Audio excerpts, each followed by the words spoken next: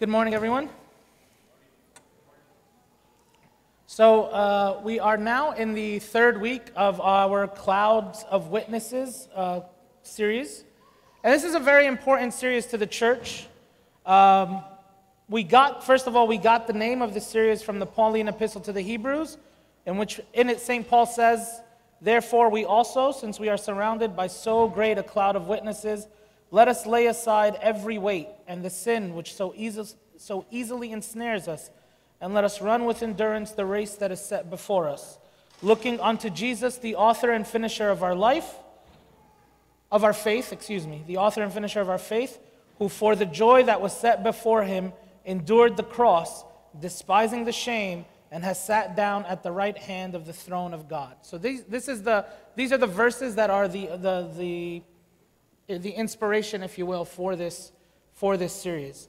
And uh, in the previous weeks, Father Paul, he covered uh, St. Mina of Vayet, the great martyr, uh, who rejected the wealth and riches of the world, the power, position, right? He talked about how he had, at a very young age, he had the allure of all of that. He rejected all of that in order to endure severe torture at the hand of the emperor and before losing his head and gaining the crown of martyrdom, right? So he became a great martyr for us.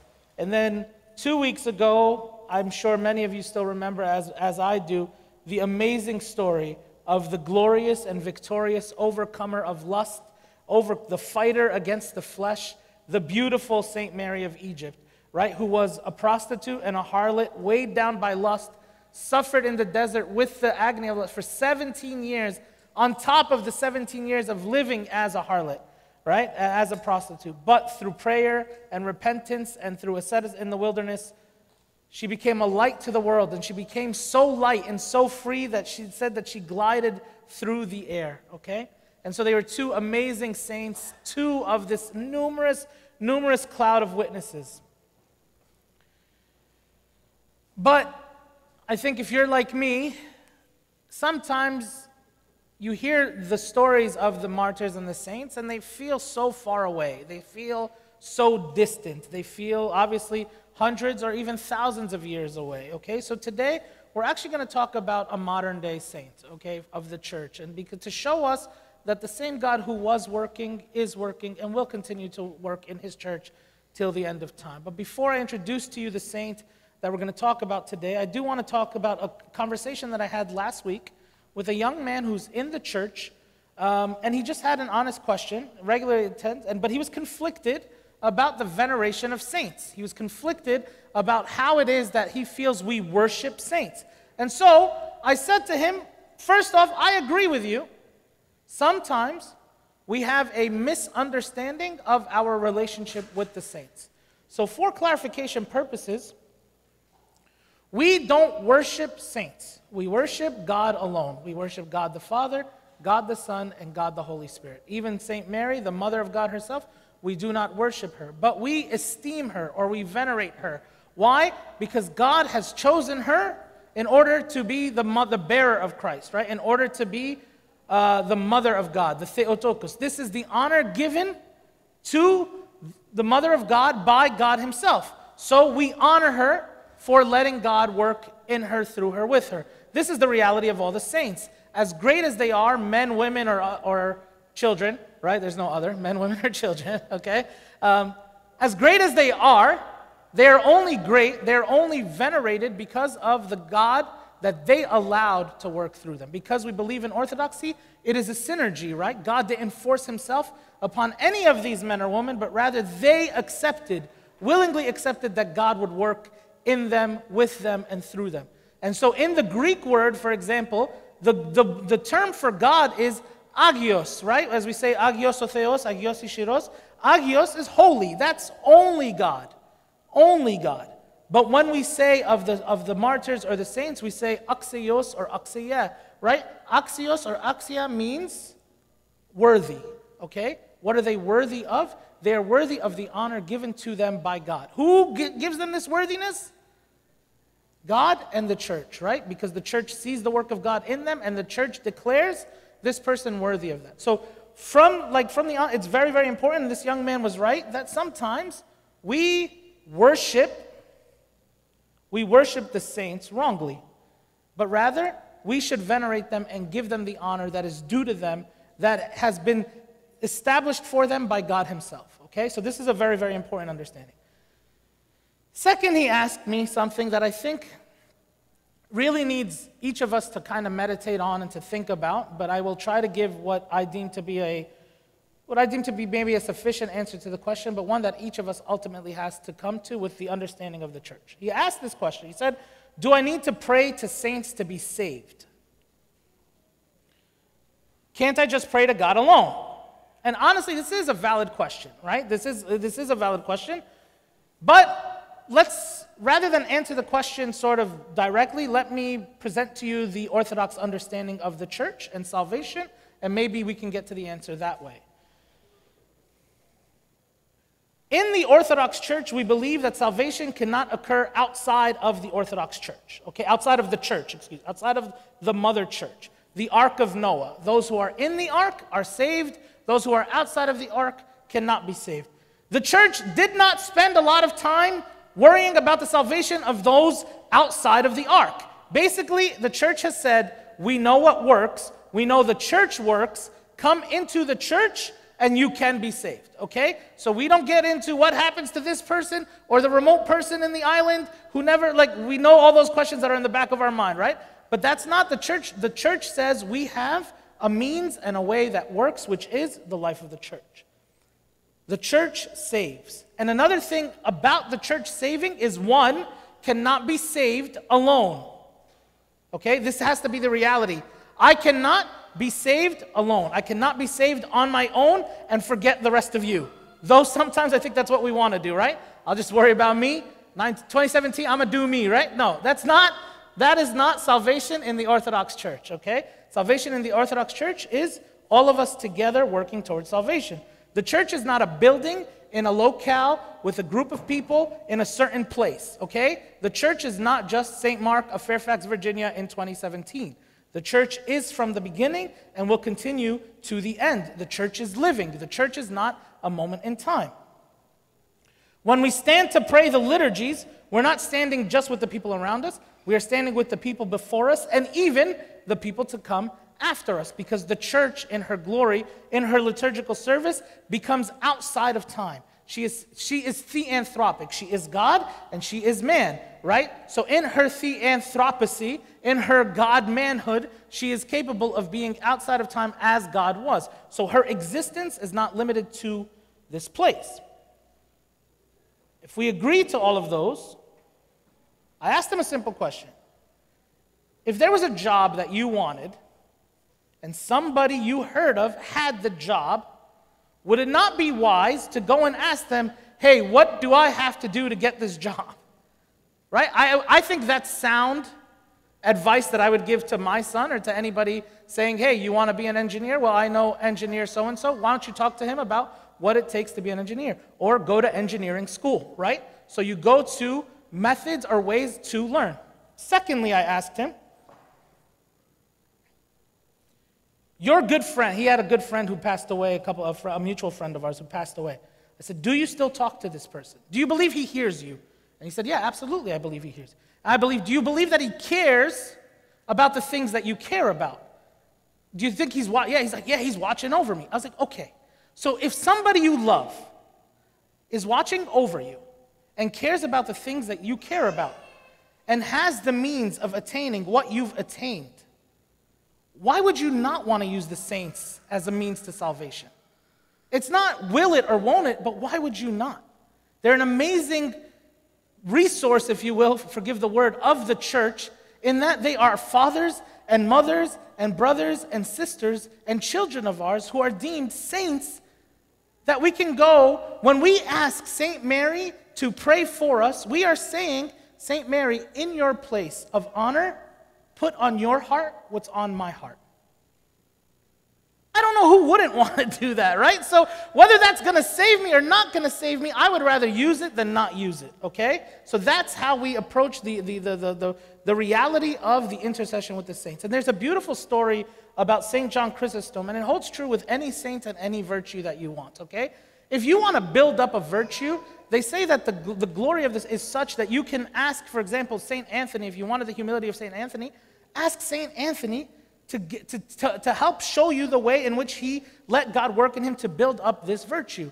The story of St. John Chrysostom goes that when he went to read the epistle of Romans, he couldn't understand the epistle fully. He was struggling with it. So he prayed and he prayed, and St. Paul came to him and he interpreted for him the epistle of Romans. And from that, we got the commentary of Romans by St. John Chrysostom.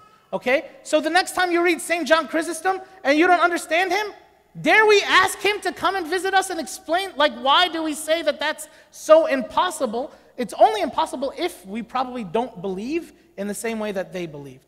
But the cloud of witnesses of the saints is something that is a treasure of the life of the church and one that I don't think we tap into enough, okay?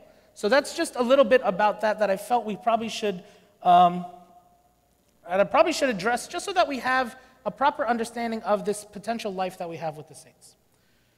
So today, as I said, the saint that we're going to talk about is a, a current day saint, a modern day saint, if you will. Um, and many of you have heard of him. Some in this church have probably even had the benefit or, of being served by him or, or serving with him, right? And his name is Father Bishoy Kamel, okay? And that name is very, very, very common to many and is probably known by many, especially in the Coptic Orthodox Church. The great Father Bishoy lived only about 48 years, I believe. I think he's born 31 and he passed away in 79. Okay, so he's quite a young man. But in his time, I can tell you that his life is indicative of what we want our saints and what we believe our saints to be. Okay, so he hasn't officially been canonized by the church as a saint, but I believe that that day will come. But also, I believe that his life and his works will speak to, to that moment, right? And the canonization, though I, I think, it, it, God willing, and I think, and many believe in the church that his canonization will come, but that doesn't stop us from seeking or learning from how God worked in this man, in this era, in this day of the church, okay? So I think it's really, really, uh, hopefully, um, a great opportunity for learn about somebody who didn't live too long ago. And I'll, I'll be honest with you, when asked to, uh, to give this, the, to, to speak on this saint, I was given sort of the opportunity to speak on anyone that, that I wanted. And I, um, I don't know, just, and then Abuna said modern day saint, and Father Bishoy Kamel was the first one. And I honestly, before this week, I didn't know too much about him beyond maybe the stories that we heard and the so on. So I prayed and I prayed that, you know, that not only do I learn and give you the story of a great man, but that we can connect with him and, and see him.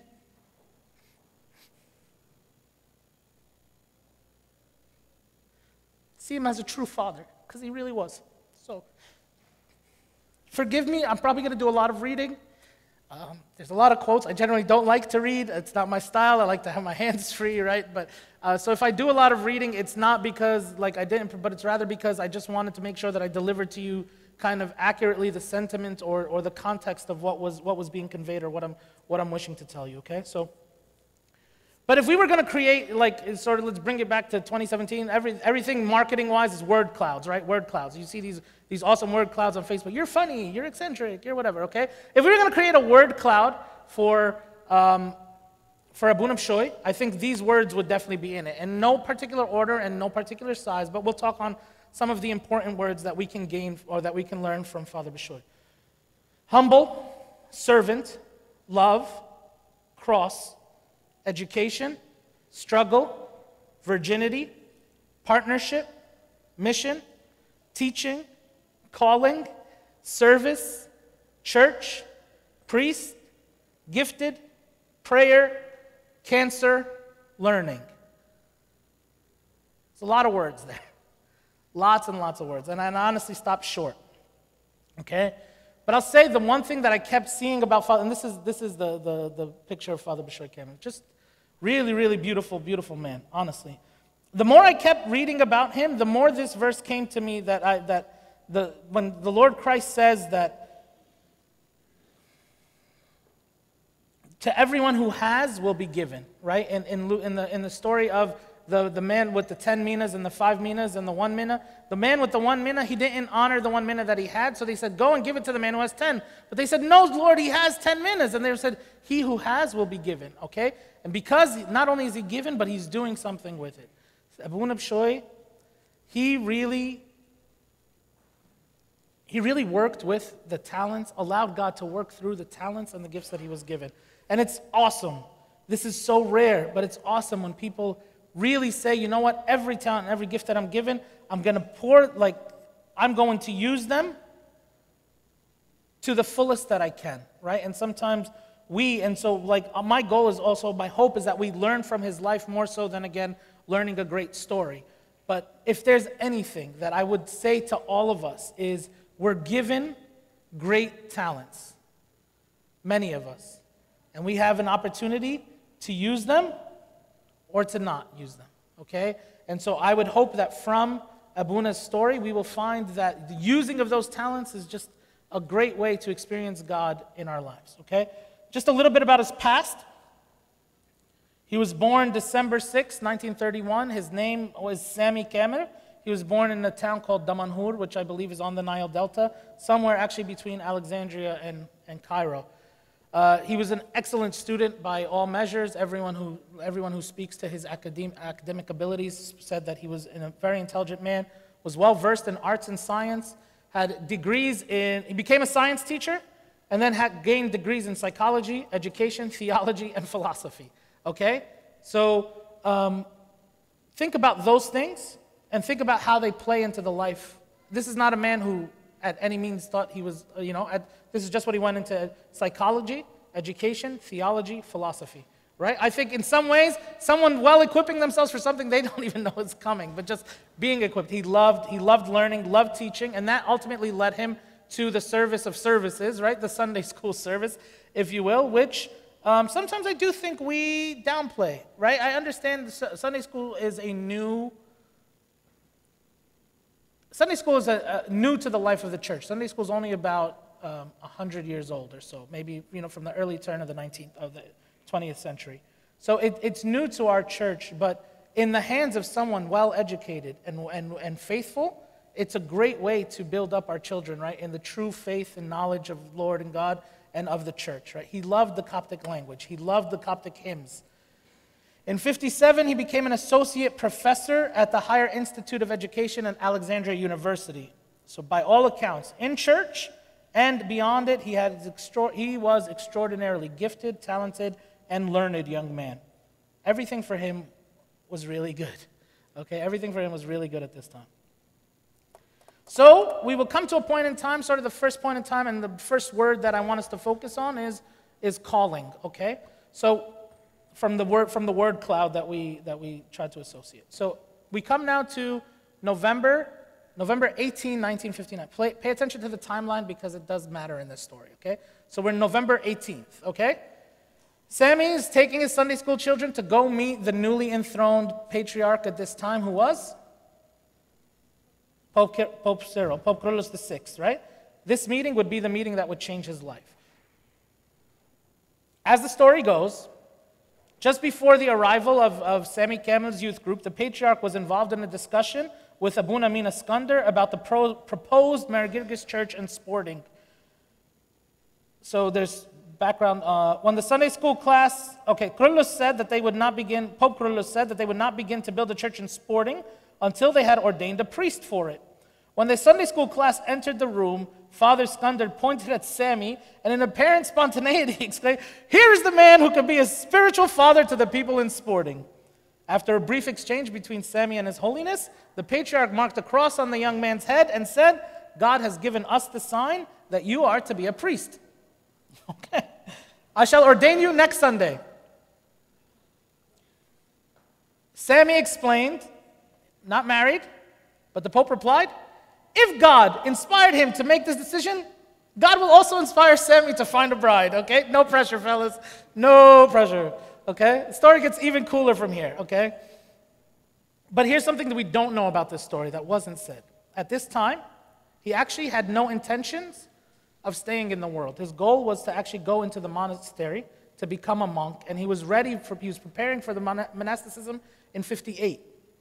But his father got sick, and it delayed his, and because he felt responsible for his father, he delayed going to the monastery. Okay, so oftentimes we lay for ourselves plans. We lay for ourselves plans and good plans. And no one's saying that the plans are bad, but God may have a different plan, okay? Monasticism, very good, and I believe based on the man that I, I got to know, he would have been an excellent monk. But God said, I need you in a very, very different way. Okay, so what did he do? He goes to a spiritual mentor, and he goes to the monastery from that Monday to come back on November 20th. What day did he meet the, His Holiness? November 18th, right? So he met him November 18th. So now he's back from the monastery November 23rd speaking to a spiritual mentor. And the spiritual mentor says to him, Hey, so what'd you get out of your. So he goes to the monastery to pray about this matter because he was, he wanted to be a monk, but also now he's got this. So he went to pray and he went to pray for clarity. So he comes back and the spiritual mentor asks him, He says, So, you know, where are you with this? Are you going to be a monk or are you going to be a priest? And he says, I don't have clarity. And so the spiritual mentor said to him one word. He said, If you don't have clarity, then we obey the word of His holiness. Let's go, let's go find you a wife. Okay? You're going to be a priest. This speaks to the life of obedience and the life of calling. Okay? I'll, I'll talk more about calling, but just to show you how God puts things together. We're now on November 23rd. So he's looking for a wife. Where do you go? Your best friend's house. Okay, you go to your best friend's house, you ask for their, sister, their sister's hand in marriage, and you get married on November 24th, the next day. Okay? November 24th, 1959. One day later. By all standards of everyone in this room, you're crazy. You have no idea what you're getting into. I honestly think if we ask them, they would say, You have no idea what we were getting into. Guys, we've been doing it all wrong, honestly. There's months and years of dating, whatever. One day, find a calling, go get a wife. No, I'm just kidding, all right? But obviously, for a special, a special man with a special calling comes sort of a special, a special way or a special route. But I do want to talk about calling, okay? Because as I said before, we are all called. Everyone here is called to something. We may not be called by the hands of one of the greatest popes of our generation. We may not be called in such a, unique way, but we're all called, and we're all called to do something, okay? And when we're called to do it, we're called to answer it, okay? I fear often when the calling comes, we have seven excuses for why it doesn't work, why I can't answer that calling. And then, upon the seven excuses, when those are rebutted, what do I do? I get a doctor's note, I get a letter from my parents, I get whatever because I'm not answering this calling, okay? But what I'm saying to you is from the life of Father Bishoy, I encourage you all to heed your calling. Your calling may be the person next to you. Your calling may be to serve God in some crazy way, in a way that doesn't make sense. How did Abuna Bishoy come to understand his calling? right? Did he do it on his own? No, he went to a spiritual mentor, he heard the voice of the Pope, and prayer, right? Those three things, or those two things, right? A spiritual guide and prayer and your own, those three things are the way that you make decisions about the calling. Don't find your own calling and don't just listen to a man and don't just pray in your own room and not sort of bring your thoughts to light, okay? The three have to come together in order for us to find our calling. And I'm encouraging every one of you Let's be like Abuna Bishoy in this regard. Let's say, God, I'm open to my calling. I don't know what it is. I may just be with my Sunday school class today. Tomorrow I'm asked to go live in Africa or anywhere else, okay? Or whatever the calling is. Again, big or small, the calling is the calling, and we want to be open and ready to receive it. The second word that I want to speak to about, honestly, is partnership. And this is really important. And dare I say, there would be no Abuna Bishoy Kamel if there were no Tasoni Angel, okay? She was his partner. She saw that he was called to do something very important, and she helped him to do it. They shared in the joys, in the service, in the struggle, and I believe in the glory that's to come as well. She's an amazing woman by all accounts. I haven't had the pleasure to meet her, but those who have met her say nothing but the most glowing things about about her and the way she shares stories of her and Abuna with love and affection for God and the people that they served. And, and just there's a mutual respect for the man that she married as well and for his service and, and for their partnership. They were together. Okay? And what, what set, allows a woman to say yes in a day. Granted, she probably got to know him as friends, but what would, other than she saw something so important and saw and felt sure this man was called, that I can't be in the way of that calling, but rather I need to push him to that calling. And so that's what I'm saying is great servants, guys, are not made by the servants alone. Okay? Husbands, if you see something amazing in your wife, foster it. Push her towards it. Make her the great person that she is called to be. Wives, same for your husbands. Parents, do so for your children. What we often do is we fear the calling. Nobody told Tasoni, your life is going to be great when Abuna becomes. In fact, their life going forward, insane. Okay? But if you speak to her, she was 100%, this was his calling, and my job was to support. She says, in her own words, she says that my day of consecration came on the day of our wedding, that I was consecrated to a calling as well. And so she said, I found my calling on that day by being, by being his spouse and his bride and his tasoni, okay? So everyone, everyone has that calling, that amazing calling. Please, please, please build each other up so that we can answer the calling push each other towards the calling, and go into the calling together, okay? We oftentimes, as a church, our best servants are not serving our church fully because there is restriction. And, and, and I, I understand it. I'm human, I'm with the rest of you. But when you see somebody so gifted in anything, foster that gift. That, that's a personal plea for me because nothing is harder on someone than when you have a gift and you feel you can't fulfill it. You feel you can't. So uh, that's just a personal plea. Foster your kids' gifts, foster your wife's gifts, foster your husband's gifts. As I think Tasoni and Abuna did for each other. It was absolutely beautiful. So he's now a new priest in a new church that's not established, right? So now he's got to worry about building the church in Alexandria. And he does, he works in partnerships, okay? It was said about Abuna that he found these great, sort of these great engineers and architects who built the churches, not just for sporting, but many churches throughout Egypt and throughout Alexandria, okay? And he always worked in partnership. They had told Abuna at the time that when he was flourishing, it was about three years into his ministry, you need a second priest. And he had made friendships and whatever, and other priests were like, no, no, no, don't do that. The best priesthood is the priesthood that's by yourself. Don't bring other priests in. He's like, you crazy? He's like, I need to share. So not only did he get one priest, but he got five priests, okay? And he ordained five priests. And he worked in partnership in the service. And he always worked in humility and love with those who he worked with. Really, really an amazing, um, amazing man with an amazing reputation of love and service. One of the priests that he served with over that time was Abuna Tadros uh, Malati, who we'll hear some quotes from, and we'll hear from Tasoni Angel. There are many, many amazing, many of his disciples have gone on to be bishops and priests in the church uh, really men and, and also servants, uh, consecrated female servants in the church. Amazing men and women, like th- coming through the fruit of an amazing man. Again, the fruit of the Holy Spirit that's working through him.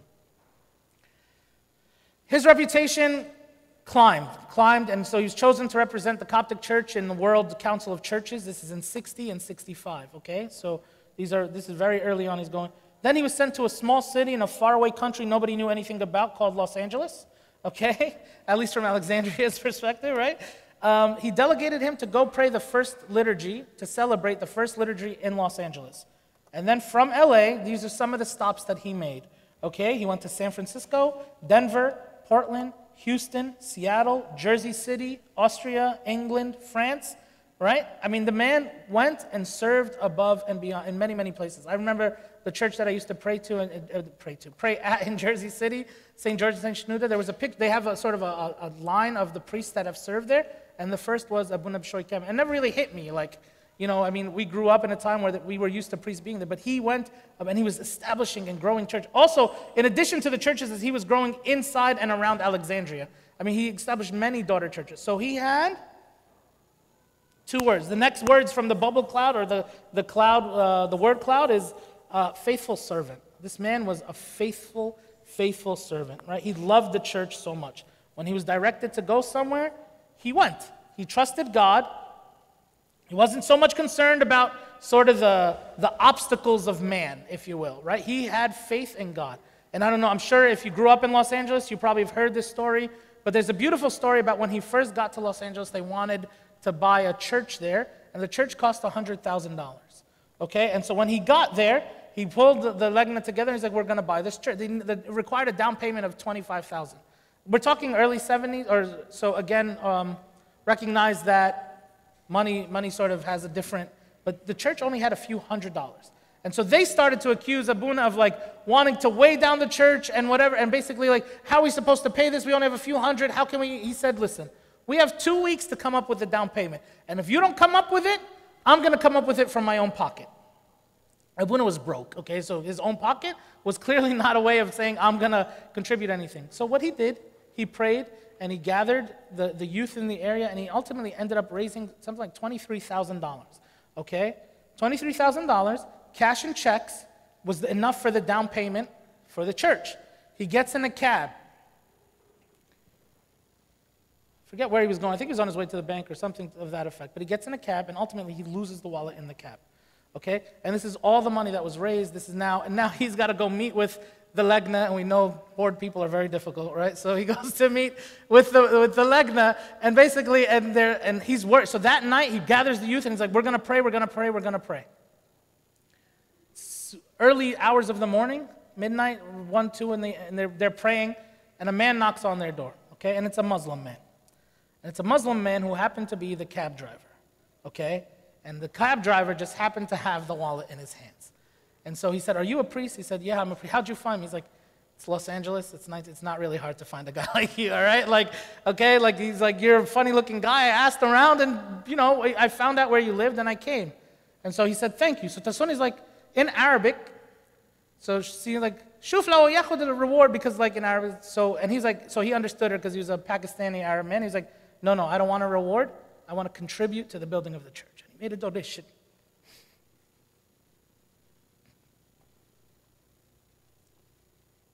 He made a donation to the church.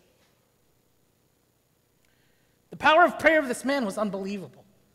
He did not see obstacles as being things that would stop God from doing what he needed to do at his church. I wish that we could all be so faithful that we can approach the obstacles in our own life with the reality of who's fully in control. Whether we're expanding a church or building our own homes or whatever it is that we're doing, there's one who's fully in charge and one who is, as we were talking, as, as John was saying in the, in, the, in the children's sermon today, right? Like, Bring your five loaves and two fish because they're meaningless to God, but He just wants to see that you offer Him back what He gave you. And He will do, they're not, they're not what He depends on, but rather He wants to see your willingness to let Him work. This was Abuna Bishoy. This is how he approached his life of service in all these churches. And there's many, many, many amazing stories like this. Okay? But it wasn't just that. So, what did he do once he got to these churches? First of all, like he established in them a life of prayer and prayer is an amazing part, as we just saw from this small story, amazing part of Abuna Bishoy's life. Um, there were three distinct areas of prayer that Abuna always focused on personal prayer, okay? For sure, personal prayer, liturgical prayer, and then ultimately there was what, what we call sort of the, the prayer of the mind and the heart, which was meditation and theological study. Again, this is a man who learned a lot. So he used his study and his theological as a means for, as a means for prayer. He would never waste time, if you will, when it came to prayer. So if he was in a car, he was reciting the Jesus prayer, right? If he was going somewhere, he would just say the Jesus, always invoking the name of Jesus with him wherever he went. Okay? He loved a book called the Philokalia. The Philokalia is actually an Eastern Orthodox book that speaks a lot about prayer and sort of the spiritual life. And these are some of the things that came out of the Philokalia that Abuna Bishoy that you could say Abuna Bishoy would, would say adhere to or would say that were important in his life. And these, I think, are things that we should learn. One, he said that the Philokalia, and again, it says, if you're a theologian, you will, truly, you will pray truly. And if you pray truly, you are a theologian. Prayer is the energy which accords with dignity of the intellect. It is the intellect's true and highest activity. Prayer is the remedy of gloom and despondency. Prayer is the fruit of joy and thankfulness. Prayer is the flower of gentleness and of freedom from anger. If you patiently accept what comes, You will always pray with joy. If you endure something painful out of love for wisdom, you will find the fruit of this during prayer. Bread is the food for the body, and holiness is food for the soul. Spiritual prayer is food for the intellect. I would say that his perspective on prayer is a little different than mine. Mine goes something like this Prayer is something that I do for five minutes to check a box because if I don't pray, I'll feel guilty. I want his life of prayer. I want this loving prayer. I want this prayer of freedom. I want this prayer of grace. That's the prayer that I want to that I that I want to experience. I, I just he prayed and again he prayed every day and I think if we can learn something from him is be men and women of prayer, real prayer, the prayer that is in, in, in this light, in the light of these, these sentences that I shared with you. So in 1965, when he was at the World Council of Churches, he got permission to go visit the Church of the Holy Sepulchre in Jerusalem. So I'm going to read to you his words on this visit, and then I'm going to read to you an eyewitness of this visit. So from his words, it says, the deepest influences on me were an altar which stands at the traditional base of the cross and then an icon of the crucifixion. In the icon, Mary Magdalene is bent over our Lord's feet, kissing them. As for the Virgin Mother of God, she was standing erect in silence. I felt as I gazed on all this how much Christ had endured for me. I found the church empty, so I stayed for a long time. I prayed earnestly that I might overcome my failings and indifference and my inability to crucify myself and die with Christ. Then I asked the one who had been buried here to remember his servants in Alexandria. I begged Christ's pardon, who was crucified and scourged for me. I discovered a river flowing from the life of Jesus into my life. You cannot speak about Bishoy without speaking about the cross. Okay? Tasoni says that in his room he had the icon of the cross above his bed, and that's where he spent hours, hours at the feet, uh, at the feet of the cross. And they said that his eyewitness account is when he was dying, was doctored and looking to make, sort of make conversation, was like, why do you love this picture so much? And he said, truly, Martha had chosen this, the greatest place, right? The place at the feet of Jesus. So that was just his account. Now let's see what an eyewitness account that was revealed after he passed. Okay, so this wasn't revealed during his life, but was revealed after, it's, after he passed. It says, a man who eventually became a monk of the monastery of St. Anthony the Great at the Red Sea was present in the Church of the Holy Sepulchre in Jerusalem and watched while Bishoy venerated the holy icon. The eyewitness became conscious of light emanating from the priest's body.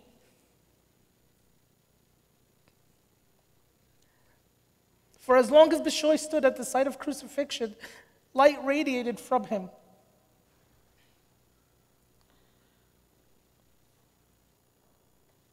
Sorry, I, I don't even know if I, I should read more. Like, light radiated from him. This man had a amazing, amazing relationship.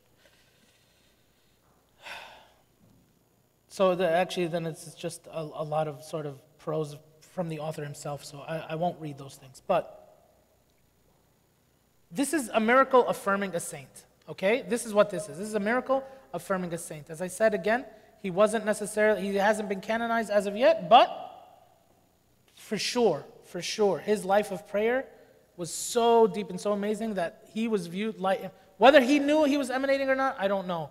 But the eyewitness account says that for sure, light was emanating from him as he stood in front of the icon of the crucifixion. I would imagine that it wasn't a one time thing either. He believed in the power of the cross. He pushed his confessors to contemplate on the scars of the crucified to draw from his power of love. These are, so he wrote two books on the cross, At the Foot of the Cross and With Christ I Am Crucified. He put above his bed a picture of the crucified Jesus Christ with Mary Magdalene kneeling at his feet. During his last days, when he had a high fever and was not in his full awareness, as if speaking through his subconscious, he was talking about how much he loved that picture and asked his wife to buy herself a similar one. When the disease had progressed, Dr. Halim, who was responsible for our beloved priest's medical care, was joking with him to ease his pain, asking, What do you like about the picture, Father? Father was silent for a while, then in a calm, deep manner said, What can I say? Indeed, Mary chose the best place ever found. Here are some other famous quotes of his about the cross. The more we contemplate on the cross, the more our unity and knowledge become deeper with our Lord Jesus Christ. The Christian cannot say that he knows Christ unless he has a sacred unity with and continuous contemplation on Christ's cross. So let us start a 10, milli, 10 minute daily retreat to contaminate on, on him who was crucified for us. I'm thinking, I'm thinking that's contemplate. Sorry, excuse me. Uh, carrying the cross is a daily invitation. The cross, O oh Lord, was inside your heart since the very beginning before you carried it on your back. The cross represents your love and sacrifice. The best scene that satisfies my eyes is to see you carrying the cross, for it is the sanctification of my cross. The cross is the sign of the Son of Man, the sign of the children of God. His secret, the, Abuna Tedros will tell you that the secret of Abuna Bishoy's ministry was his preoccupation with the cross and his desire for everyone to share and enjoy with him the blessings of the cross. And they say that out of his love, that God Actually, I'll save this for later because it, it's, it's a bit difficult. So, another, so the cross is something that all of us, again, cross is one of those words that I want us all to connect with. So now I'm going to give you some quotes about Abuna and his ministry, sort of his love for others, his love for people, and then his love for um,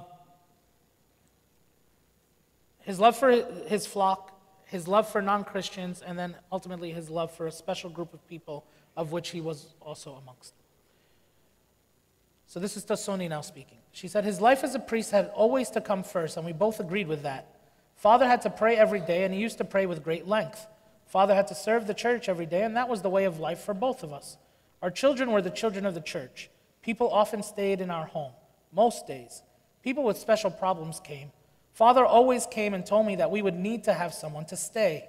He used to tell me that I need not ask what the problem was, but just to see what happened.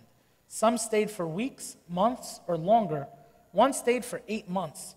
When the problem was solved, when all was well, they can go. Many have come to be our children.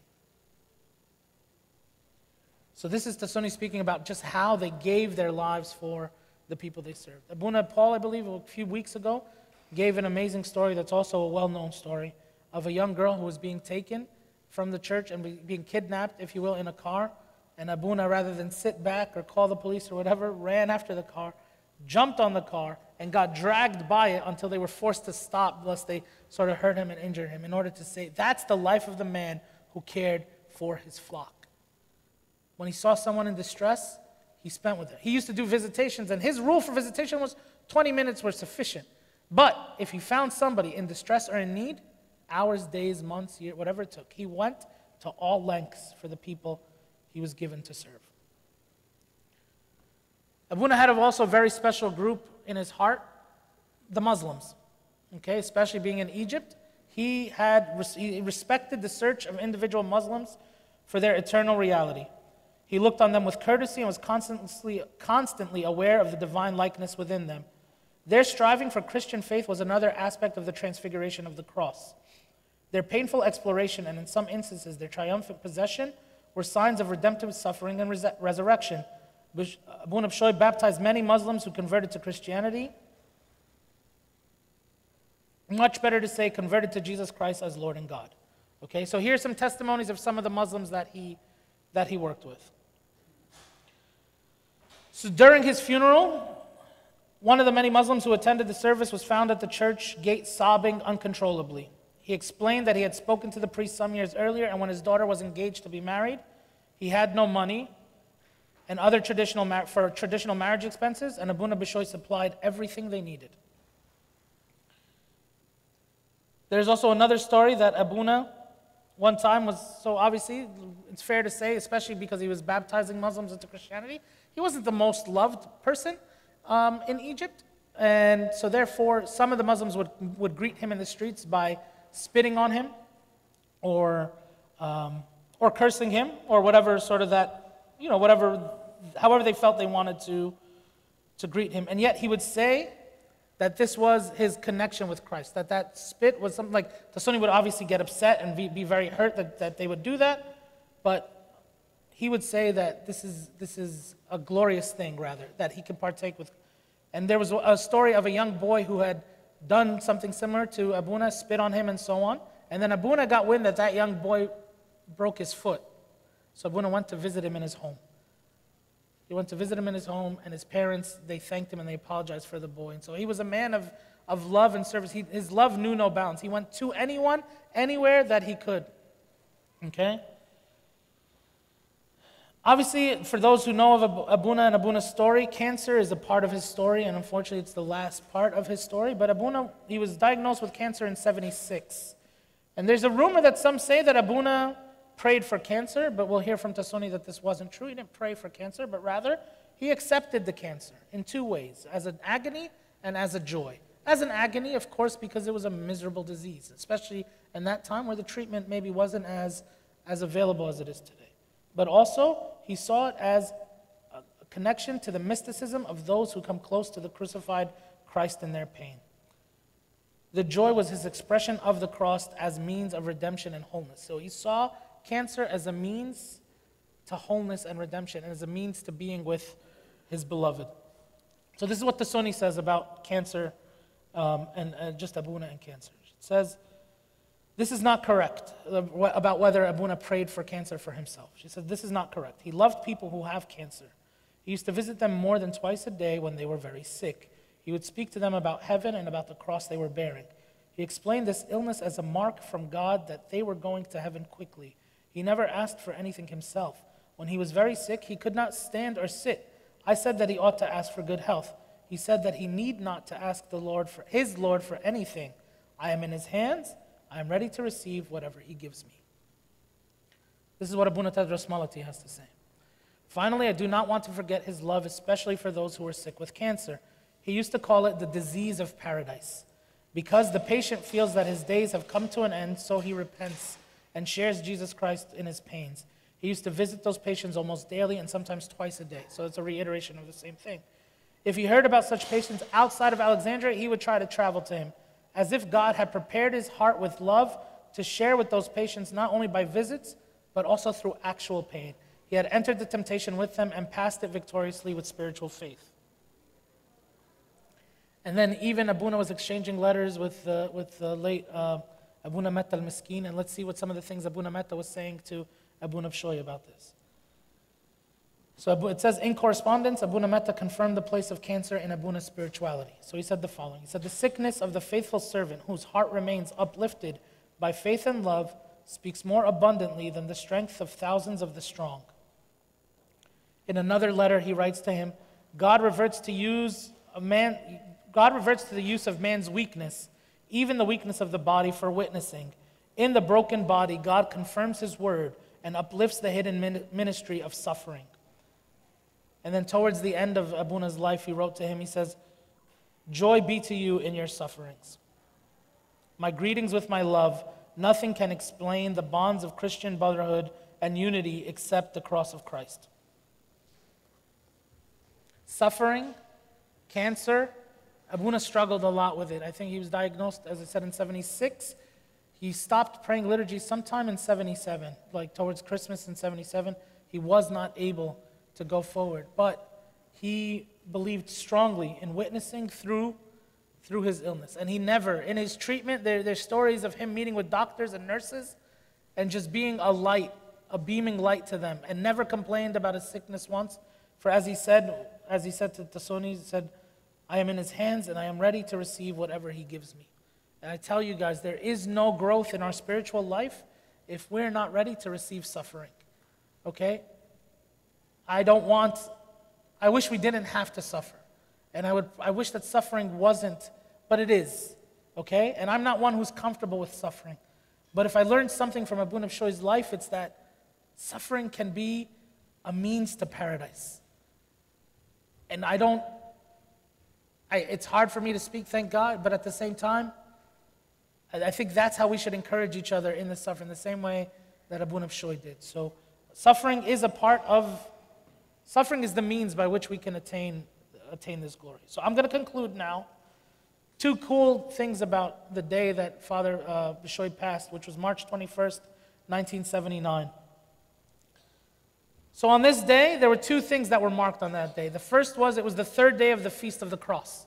which is so fitting considering his love for the cross. And, and Abuna Tedros and many believe that this was God's way of honoring him and his affection for, for the cross. The Feast of the Cross is on March 19th, so three day was the third day of that feast. Also on March 21st was the day of the manifestation of the virginity of St. Demetrius the vine dresser. And if you don't know the story of St. Demetrius the vine dresser, he was a patriarch of Alexandria who was married but lived with his wife in virginity. And on the day, so basically people started to sort of, you know, ask questions and be like, what's, what's going on? What's going on? And so they never spoke about it. They never told the people. And then God said to him, You must reveal to the people the, the purity in which you live in your marriage. And so after the liturgy, he demanded that everybody stay. And he took a lit charcoal from, from the censer from, and he put it on his, on his own cloth. And it didn't burn. And then his wife also she put it on, on her, uh, on something that she was wearing and also didn't burn. The people believed and understood that day that they were living, uh, that they were living in virginity and they were pure and that he was, he was pure and chosen one for that papacy. The reason this is relevant is because some of you may know or some of you may not know that Abuna and also lived in, in virginity and they did not uh, they did not know each other sort of physically and they did not consummate their marriage in that way but they lived um, a perfect ascetic life together. And so that was a secret, and nobody had, nobody had ever known that about them. But again, uh, it was revealed after their death. One of the early biographers uh, ended up revealing that. And so, um, just another. Certainly, I'm not saying that all married couples need to do that. In fact, I don't encourage you to do that. Okay? But uh, when, when two people are together on the vision, together on their calling, like even something like that, which seems so impossible to us as man. Um, yeah, sorry, I'm wrapping up. My, my apologies. I'm so sorry. Okay. These are just words that we can live by from his journal, and then I'll conclude. This was his journal after he. Um, the life of each Christian is a way marked by sweet crosses. Each cross ends in glory. The way of the cross is a school. Escaping from it means losing your future. Those who are careless with their cross lose their crown. The cross is not a theme for contemplation for a day or even a month or for any particular period, but the love for the cross is the whole life of the Christian. I have done Abuna no service in trying to give you his life today, but I only hope that through certain glimpses into the man he was, that we can recognize that God is working in his people in this day and all days. And I hope that you, as I, have now found a new intercessor and a new father and someone that we can add to our personal clouds of witnesses so that we can grow in faith and love with Jesus Christ. Glory be to God forever. Amen.